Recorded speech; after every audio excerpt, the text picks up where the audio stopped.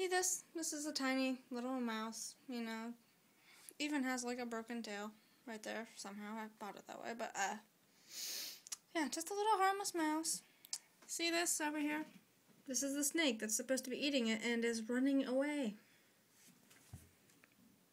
Yeah. He's real something to be scared of, isn't he? He tries to get out. There he goes.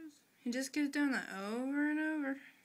He doesn't like to attack his food. We've tried frozen and he hates those. So I just have to wait for him to get hungry enough where he eats a live one. Hello, baby. Hello, baby.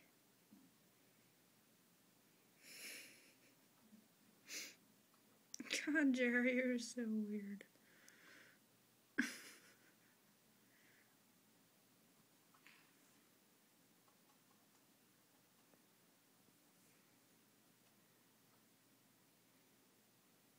I put the mouse in there, he literally went flying to the other end of the tank. Vicious one, that is. You're vicious, huh?